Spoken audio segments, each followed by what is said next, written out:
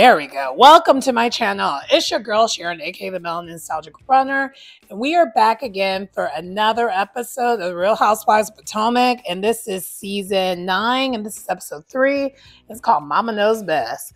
Um, so I'm not really sure why it's called this episode. Well, I kind of have an idea, but anyway, let's not waste any time. Let's go ahead and get into the review. Um overall, this was a very, very good episode of Potomac. And I, I do love the direction that Potomac's going so far. So far, so good. Um, but anyway, without further ado, let's go ahead and get into the episode. So the episode continues where we left off, where Gizelle just kicked um, Stacey, um, Jazzy, and Mia out of the party, or actually out of the charity event that she had for GNA. And um, has security escort them out. It's a whole entire mess, and Stacey is pissed. I mean, upset. And then as they're leaving, Vivian, um, who's Karen's friend, who was also at the event, she actually does come go to their sprinter van to join them, just you know, say hi because the way Gizelle kicked them out, like immediately as I got there, um, it was a whole thing. And Jazzy and um, Stacey were arguing back and forth with Ashley because honestly, it goes without being said, but like, um, Stacey knows she got set up. That's that's what it boils down to. She knows for a fact she got set up because really we know that Gizelle didn't even really want them there if they weren't going to be there on time, which was like 7 p.m. So they just shouldn't have even showed up at all. But instead of Ashley delivering the message to them that just not to show up, she tells them that they're okay to get there at 8 and they get there at 8.04. So it's actual extra insult to injury that they did that. And so they're so yeah, Gizelle was upset and um, I think I, from what I remember last episode, I feel like Ashley left out the fact that she, you know, said to get there at eight, eight o'clock. She left that part out. She she said that they said that they're actually going to get there eight thirty. So she was they're actually going to be, you know, Gizelle was going to be actually extremely upset with that. So at the end of the day, this is Ashley's doing the way it happened and it was kind of messed up. But anyway, so that's where you saw Stacey was kind of calling out Ashley, like, you said to be here at this time. Kind of making it very clear, like, look, if we didn't think we, you know, would be okay to come, we wouldn't have even tried. Um, at least that's how I saw it, the way it kind of came off on TV.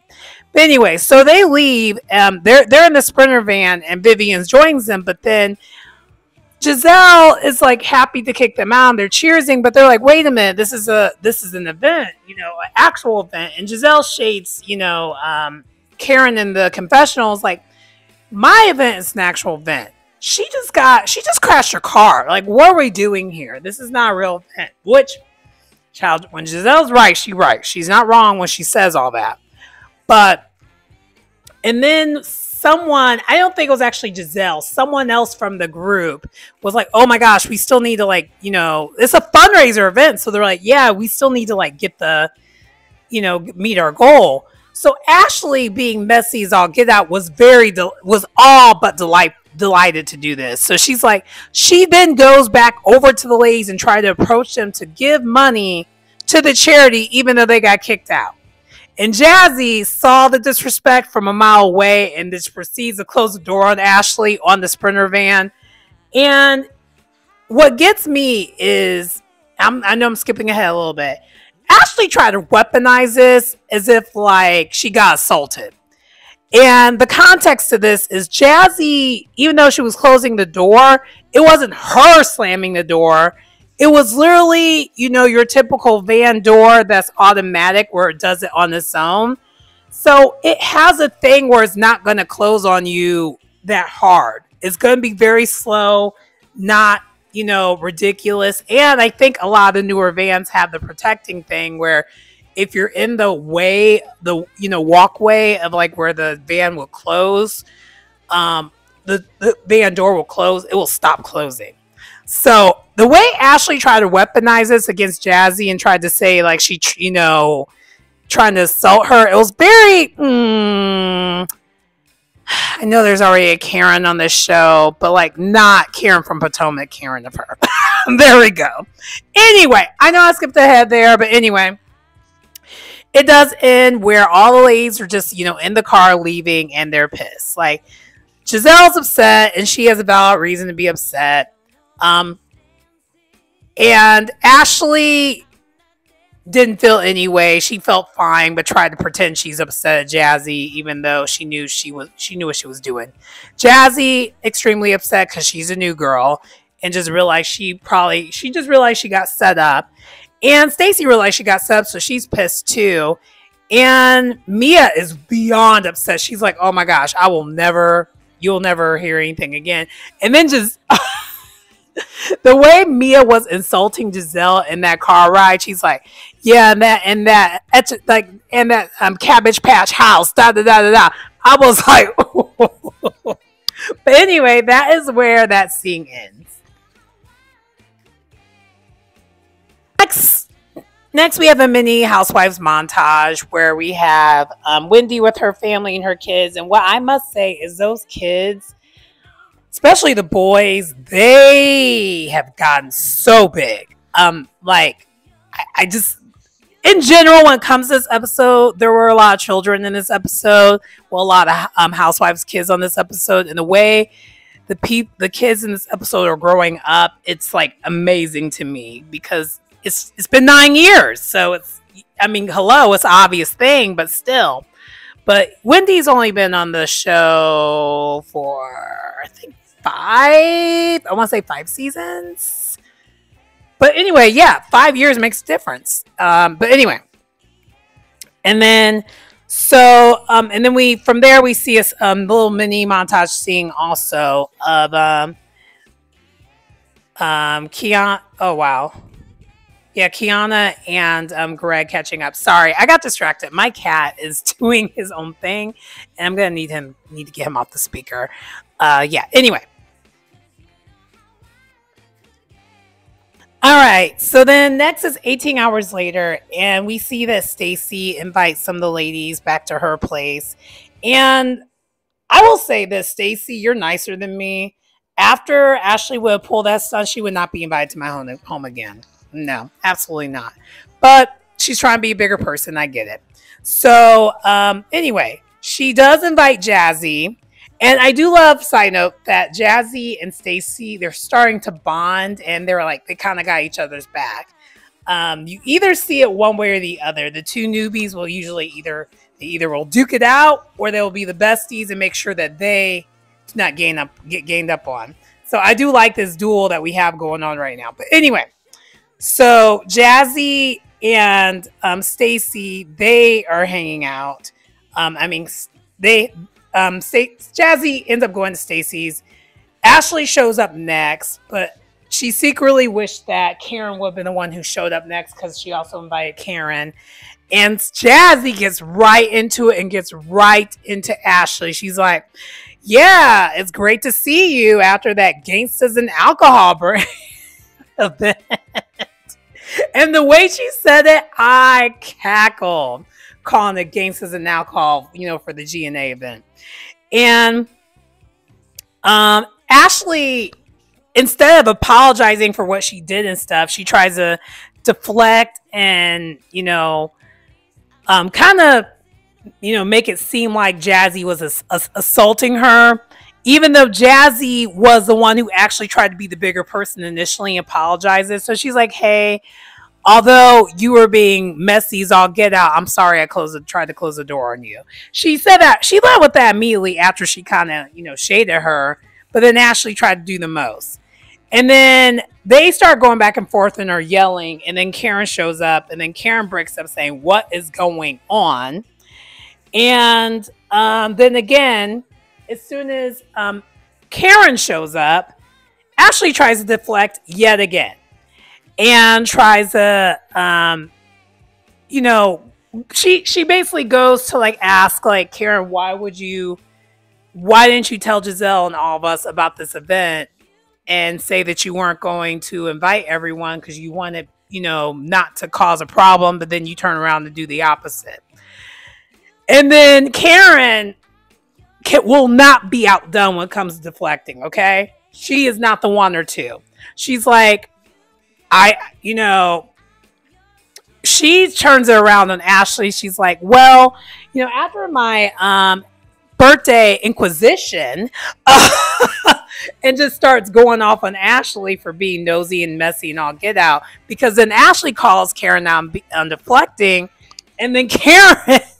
Side note, I totally forgot to mention when Karen was going off on Ashley, she called Ashley out on um, that shady gift that she gave to her for her birthday for the Uber receipts and all that before she mentioned those.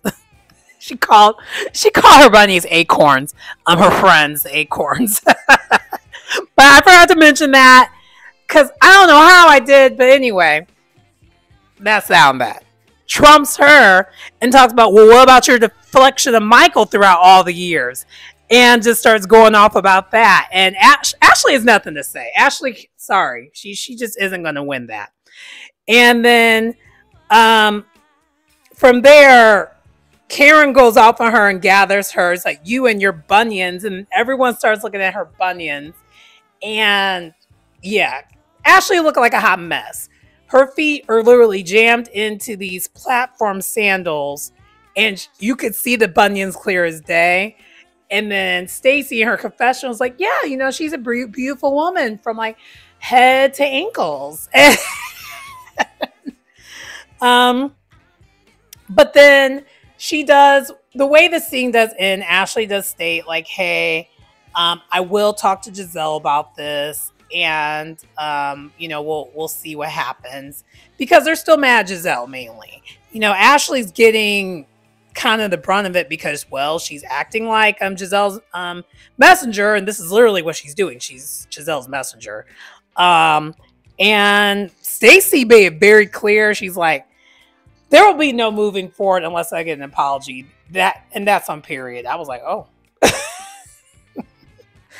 Side note, I am liking Stacey so far. She's definitely a wild card and she's definitely not to be messed with. And also, um, Jazzy. I'm also liking Jazzy too. Like this team of Jazzy and Stacey, I'm with it. I- I'm definitely with it. Um, yeah, anyway.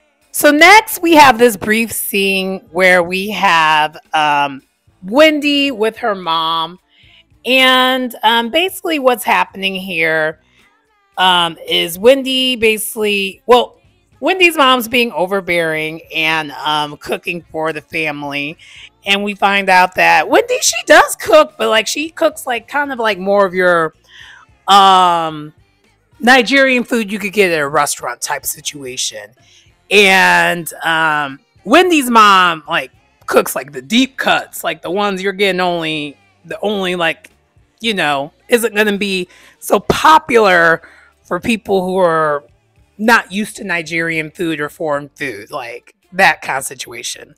Um, anyway, and so we find out though that Mia um, just invited all the ladies to a trip to North Carolina, Lake Norman to be exact. And this is also going to be around the time of Wendy's birthday, so she's excited. And side note, what I must say is that Wendy's mom, that glow up, she's definitely you could tell from last season she um, has toned it down on the thing she was doing. Um, we're not going to get into that because this is not that. But then also too, um, she definitely looked like she lost some weight. She looks good. She has glowed up. But anyway, so besides that, we also find out that Wendy talked to Eddie's mom. And for those who are not familiar, Eddie's parents kind of stopped talking to Eddie once Eddie and Wendy got engaged. We actually find out a little bit more that um, Wendy's mom and Eddie's parents, well, Eddie's mom actually used to be pretty close prior to the engagement. But then as they grew apart, Eddie and Wendy got closer, according to Wendy. And so um, basically, the olive branch has definitely it's showing. And um, Wendy in her 40s because this is a milestone birthday for her. Which side note, happy belated birthday. We're I didn't know you were 84 also. I love it. Anyway. um so yeah. Anyway, so besides that, um Wendy's mom, of course, is like cautiously optimistic but happy that um, things are finally moving forward. Because although her um, Wendy's mom and her um, Eddie's mom may not necessarily get along, um, this is a step. And so um, Wendy's mom said, I tried to, you know, do the olive branch thing at the baptism, but it, it was a no go. Um, and so Wendy's mom basically said, Hey, as long as she comes with um, love, I'll come with love. But she ain't coming with love. I'm praying for her. I'm like, All right. That's how that scene ends. So the next scene, we are at um, Kiana's place um, with Greg.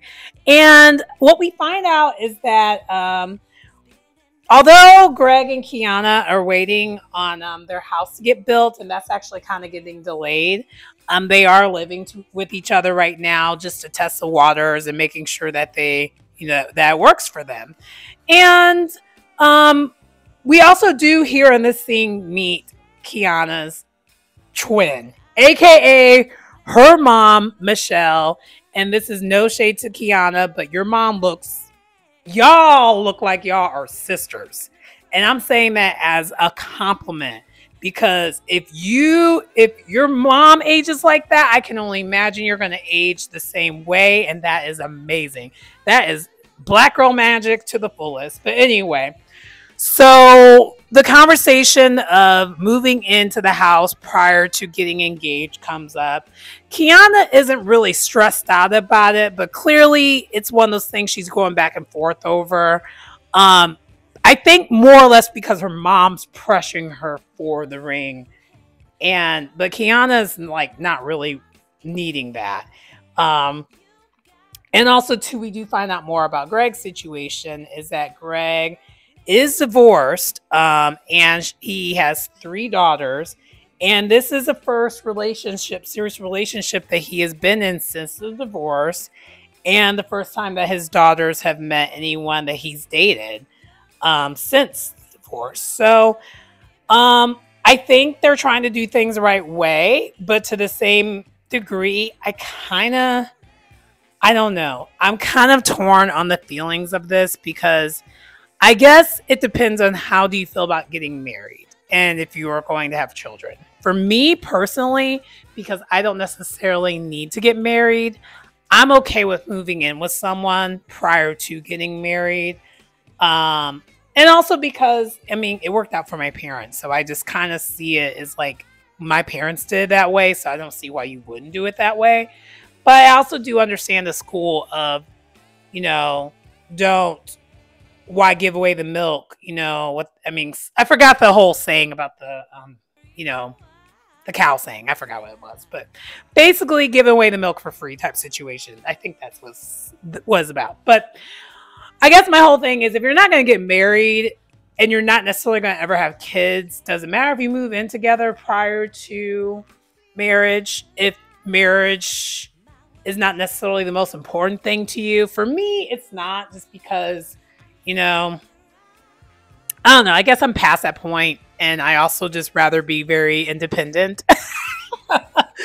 um, now, if I could find find someone that meets my meets my energy and meets what I'm going through, and we have the same vision, great. But it's not something I'm pining for. So maybe that's the space that Kiana's at. But hey, to each your own. Um, let me know in the comments how you feel about that. Next, we have Gizelle with her daughters, and this is my favorite Gizelle.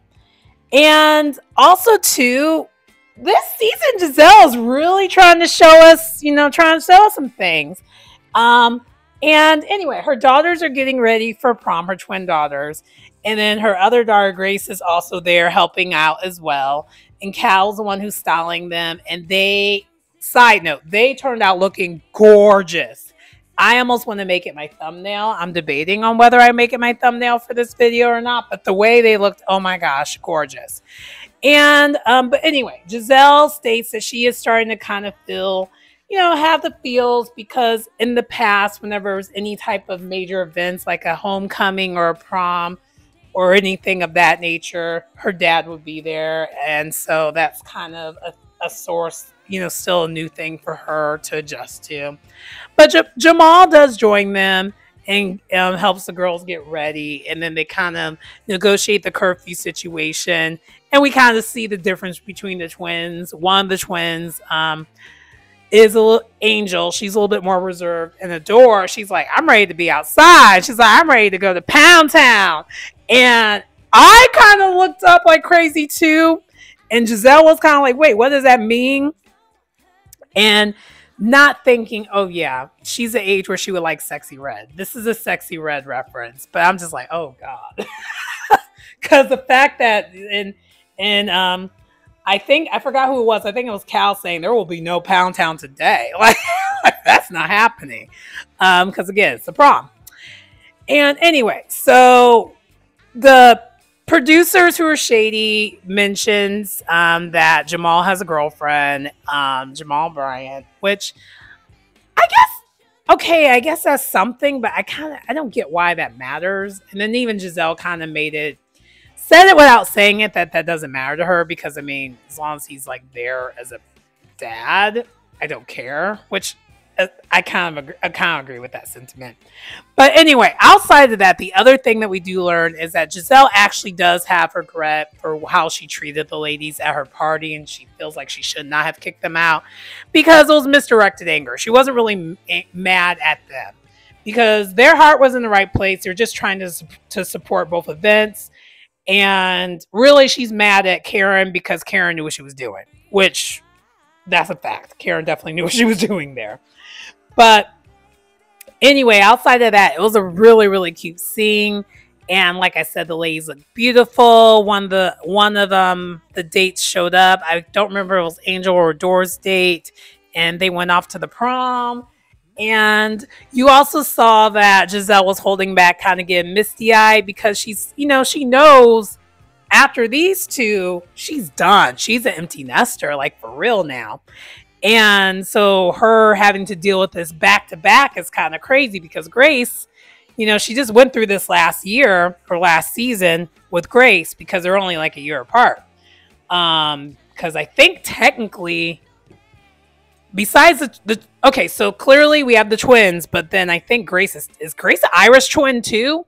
Because I mean, it literally was back to back if they're only like a year apart, but maybe they're anyway, they're a great apart not necessarily a year apart, but they are a grade apart. Let's go with that. But anyway, good good scene. Moving on. Side note, um, again, I'm heading to the gym, and so I did not feel like going on camera because I'm going to go to the gym after this, and the, the review is already late as it is. So let's let's get it out. Um, also, okay, back to the show though. So the next scene we have Mia and Inc, and we find out that Mia and Inc they do this staycation situation and rent an Airbnb every so often because we know that Gordon lives in the same building as Mia, and I guess Gordon has this thing where he just pops up, and so they want some alone time to make sure the pop-ups don't be happening, so they do like the Airbnbs to make sure they could do that, and um, we also find out that Inc is her high school sweetheart and then we see these old pictures of when they were together back in high school. So they were kind of on again, off again for like years prior to the Gordon situation. And then besides that, then we do see that Jacqueline then shows up at this Airbnb. And what they're going what they're planning on doing at this Airbnb is they're actually going to be celebrating um, Jacqueline's um, PP um, birthday. And you're probably like, why are you saying PP? Um, I think I think it was called parental. I think she said parental assistant or something like that. Parental um, parent. I forgot what she said. Um, but this is Patrick. Um, Patrick is her ex boyfriend who she co parents with. Um, and we also find out that Jacqueline has two daughters. So the two daughters show up and this is Patrick and Inc meeting for the very first time, by the way. And so they're basically just cutting, you know, kind of just getting together, um, celebrating him, having a good time. And then we find out that um, they sit down for a little bit and they talk about um, how's Gordon handling things, how's Gordon's doing, and of course it's a mess. Um, but yeah, that's pretty much how that scene ends. It was kind of nice, short and sweet. Also, side note, I will say this. Um, I think Jacqueline's very much okay with just being a friend of because she definitely is coming off a lot more as a friend of. Jazzy, the way she is doing things so far, because she seemed like she could stand her own and stuff. I don't know. I could see her being a full time housewife, depending on how things go for the rest of the season. But she she has that energy about her that she exudes like she could be full time if we get into her story and stuff. But anyway. So next we have oh, also other thing is this episode had a lot of short scenes if you did if you haven't noticed. And none of them are dual scenes. So this is why I feel like I keep saying we had a short scene, but it's because there were a lot this episode. But um Stacey is with her personal trainer Ger- um, Gerald and um per her advice of her friend, and I'm doing the air quotes even though you can't see it, of TJ that she kind of needs, you know, get some muscle. And then this is where we meet the infamous TJ, and they're working out together. And then after they work out together and whatnot, um, we then do see that TJ asks questions about the divorce, and um, it seems like TJ has apprehension on his end to really pursue her all the way. And I get it, it's because the divorce isn't final. And we also find out he's not a virgin, but like he does not want to fornicate basically until marriage. And I am a little confused about that still, but I know to each their own when it comes to that. And Stacey's willing and ready and able to like, you know, go for it with that idea. But we still don't know much about this divorce. Um, even though TJ, I think, was trying to produce a little bit and give us more, but she wasn't really ready to answer all that. But maybe it'll come later on in the season. I mean, it's only episode three, so there is that. Um, but anyway, what do y'all think about this relationship, though? I guess I don't really see TJ and um, Stacey lasting because I don't know. I think he already clearly has apprehension because he wants to make sure he's not the rebound. And also, too, because she is in a vulnerable state and she's going through a time of a divorce, that is a major risk. And I think that's the other reason why he's apprehensive, but he's not really saying that. Um, but I think once that divorce passes and there's some time, I don't know where this will go, but I guess my only concern for Stacey is that this man TJ is wasting her time. I don't want that for her. Um, you know, I get she's trying to be very, very um demure, I guess is the word, even though I hate I feel like this is a word that's already being overused. But um I think she's trying to keep it cute when it comes to this divorce because they're not divorced yet. They are still going through mediation and it seems like there's more going on with that mediation than what she's telling us. Um, and I, I kind of did allude to that. But anyway, that's pretty much how this scene ends. But let me know what y'all think about this TJ guy. Um, and I think it's because he is a friend of hers first. He kind of does know her very well. But I am worried about Stacey and the fact that she is with the guy who I don't know. He clearly has apprehension. And I don't say, I'm not saying him not wanting to have sex with her, be physical with her is part of the problem, but it also isn't necessarily helping because them two on screen, the way they looked, it just seemed like they're lacking all forms of intimacy. And even though you don't, you're not wanting to have sex, it's just in order for a romantic partner, I feel like intimacy is important and not necessarily sexual intimacy, just closeness. There's a different kind of closeness when it's your romantic partner versus it being like a best friend. And I'm not seeing it, but this is just off my initial reaction of what I'm seeing on screen. All right, so then back with um, this is, I think, the next day. I'm not quite sure, but Mia and Inc are still in the staycation. Well, no, they're not in the staycation house anymore. Now they're back at Mia's place. And we find out, I think Mia now lives in DC now. And this is her fourth place in four years. And a rental, of course. And then the producers show all four places she stayed at. And she she knows it's a mess and she keeps moving. But she says that she does love where she stays at now and she's in a very happy place. And then from there, Inc asks, like, okay, so how's Auntie doing? AKA Gizelle. And Mia does say, hey, actually, Gizelle actually did apologize. Um, so we're good now. But Karen, child, I don't know about that. And it turns out that because it is public record what's going on with Karen, she has a court date and shady, shady, shady, shady, shady, shady Mia and um, Inc. They're whispering this as if there's like she's like it's embarrassing, which it is. I will say that because you know at Karen's age this should not have happened, and but at the same time, girl, girl. But anyway, that's pretty much the scene here. Next, we then do see that um, Gizelle meets up with Ashley. Um, well, initially she meets up with Ashley showing up first, and then we had Stacey and Jassi joining, and then after that, then um, Wendy and when and um, Gizelle states that she doesn't want um, Karen there because she wants to get to know these ladies without Karen because Karen's already gotten to their head or whatever.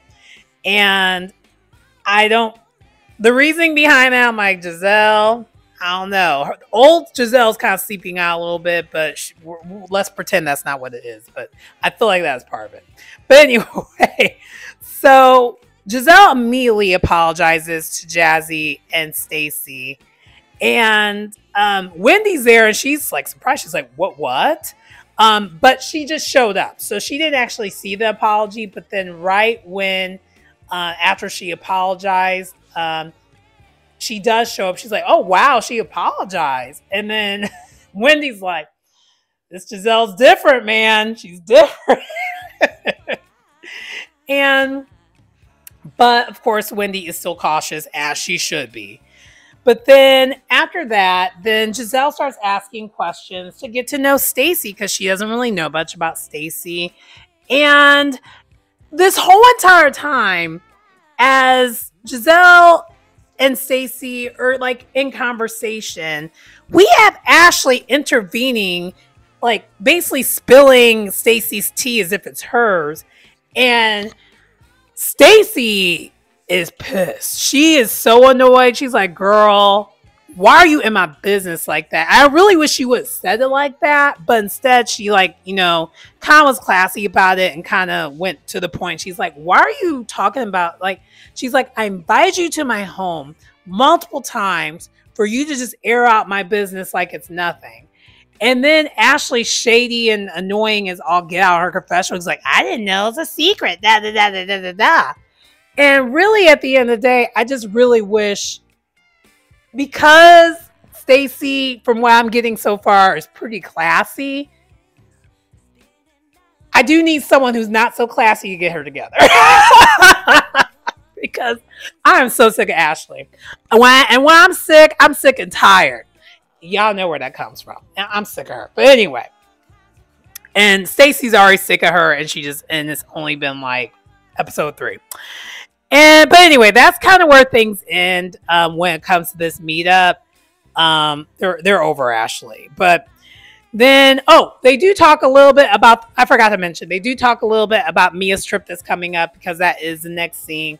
And um, Wendy's excited because it's her birthday also at this trip, and the ladies are like, "Yeah, it should be fun." But then from there, we do move on, and then the final scene um, is the day of the trip. All the ladies fly to North Carolina, aka the Queen City, um, to um, Mia's, you know, event. And only lady that did not fly with them is Stacey. We find out is related to a family member. Um, she doesn't she doesn't fly if she can help it, so she's driving instead.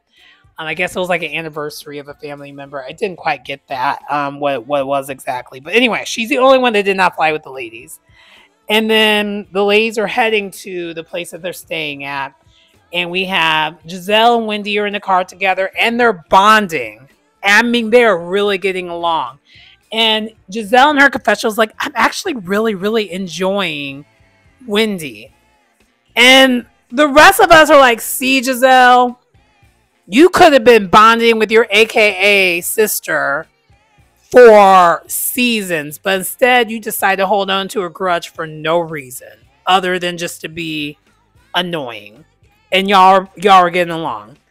And then Wendy, on the other hand, is like, I am enjoying this conversation, but I still, you know, I'm still proceeding with caution, as she should. And then we also then have Kiana and Jassi. They're in the car together and they're talking about their guys. And um, both of them, we find out both of them have hit the two year mark of dating their guys or being with their guys. And Jassi was like, Yeah, you know, because I think the question came up of does he have kids? Um, Jassi's man who plays for the um, oh wow, Kansas City Chiefs um, football, um, the football team. Um, and turns out he does have kids. And Jassi made a point twice to say, this is his first serious relationship. This is his first serious relationship. and that was funny, but at the same time, I'm like, girl, why are you saying this in front of Ashley of all people? You know, Ashley is just going to be shady of some sort. Like, I, if I was them, I would never disclose any information that could be used potentially against you, which is basically any of your business. Um, so there's that. but anyway, so then also too, we then see Mia and Karen are in the car together, and Mia's trying to check up on um, Karen, but at the same time shading her all at the same time. And Karen is still on this. I can't talk about this case because it's ongoing. I can't talk about it. Um, and in her case, it is a little different than Shannon's situation because Shannon did not try to fight it. She, you know, had a good lawyer and handled it right away. So by the time the season started, everything was settled. With Karen's situation, which is slightly different, she is fighting it tooth and nails if none of it happened. She's not taking the charge. She's not really owning up to it. And I think this is where we're looking at Karen funny because it's like, Shannon took responsibility for what she did. And Karen is not. Um, and I what regardless of what caused the accident, the fact that you had more alcohol or even despite a, an illegal search, you had an open container in your car as you know, you just kind of got to pay it. And also, too, when they took the breathalyzer, the breathalyzer was still breathalyzing. And it wasn't like that was your only charge. You had multiple charges. But at the same time, I don't know. I guess I, I, I, I want to give Karen grace the way we've been getting giving um, Shannon grace. But the main reason why we've been getting Shannon grace is that she's owned up to the fact that she did make a mistake and Karen has not. And that is a huge difference there. But anyway, um, but at the same time, you know, when that situation happens, you do have the right to fight it. If you really think that, you know, there was a legal search or whatever, but I, I still, still, still, still, it doesn't matter. But Mia is just basically like, okay, well, I know she's like, it was on the internet, girl. She's like, you're eventually gonna, you know you are to need to eventually you know talk talk about it because you're going you're going to break eventually and Mia Professional was spot on she's like it's not what happened as an issue i mean it is an issue but it's just the fact that she's not even at the part where she's owning up to it and that's the problem what i just said and then from there it speeds along to what happens on this trip and this trip is going to be a mess we see that Karen gets into it with Mia and also Jacqueline. We also see that Kiana gets into it with Ashley. And this is like supposed to be Wendy's like birthday um trip slash Mia's, you know, outing. And it seems like it might be a mess. But anyway, that does conclude the episode. And again, it was another great episode of Potomac. Um, I am debating whether I'm going to stick around and watch New York or I'm going to go off and live life real quick and then review, watch and review New York tomorrow with Salt Lake City. I think I'm going to combine them two. Um, and as I mentioned before, New York has two more episodes for me. If after these next two episodes, if they're not giving what needs to be gave, they're out of the rotation. Um, I will let y'all know um, because I do not want to put out another review where I just am mad that I'm even reviewing the show again. Because that last review, child, I know, I know, I sounded like a mess, but it is what it is. Um, you know, I'm sure Bravo executives and stuff watch a whole bunch of different YouTuber reviews, like big and small, to kind of get a feel of the audience views of things. And if my little small channel can help them change some things with the totality, I'm going to keep doing it if I can. But anyway, that does conclude the episode. Please like, comment, subscribe to the channel if you get anything out of the content. It's your girl Sharon, aka the Mel Nostalgic Runner. And I will see you next time. Bye.